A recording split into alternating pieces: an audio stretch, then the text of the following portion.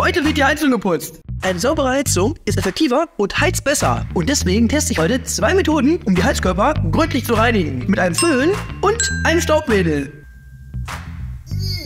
Ganz schön staubig. Starten wir mit Reinigungsmethode Nummer 1, den Föhn. Dafür müsst ihr einfach nur den Föhn am Heizungsgitter einsetzen und einschalten.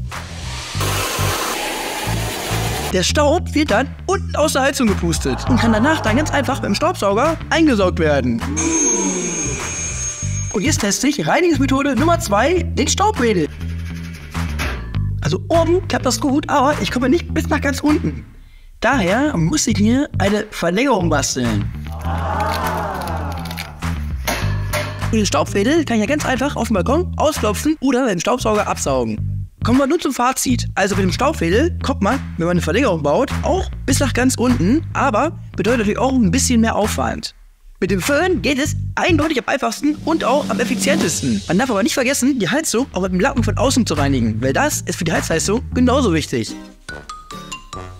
Wieso das so wichtig ist, weil schon eine leicht eingeschraubte Heizung bis zu 30% verminderte Heizleistung haben kann. Lasst eure Putzhandschuhe ruhig an, denn